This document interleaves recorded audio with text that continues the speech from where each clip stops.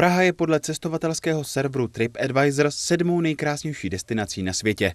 Posunula se tak z devátého místa a předběhla i takovou metropoli, jako je New York. My jsme rádi, že Praha se dostala na sedmé místo mezi uh, světovými metropolemi. A když jsem se stal v roce 2014 radním, tak uh, jsme věřili, že Praha se může posunout na jedny z předních míst světového turismu. Ovšem, se dostane tak daleko a tak vysoko, tak to nás tedy opravdu napadlo.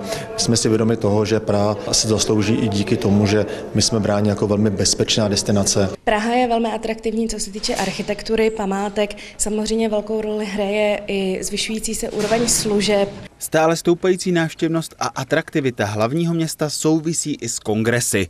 Těch se v Praze uskutečňuje čím dál více. Praha se dostala světově na 11. místo, co se týká počtu kongresů. Mimochodem, ono už to není turistika, ono je to průmysl.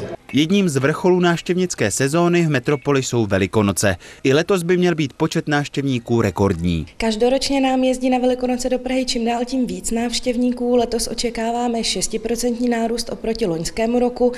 Očekáváme tedy přes 300 tisíc návštěvníků v Praze, z toho 260 tisíc ze zahraničí, 40 tisíc domácích návštěvníků. Do Prahy na Velikonoce jezdí hlavně Evropané. Pozvolna se také zvyšuje počet turistů z Ázie, a to především z Číny a Jižní Koreji.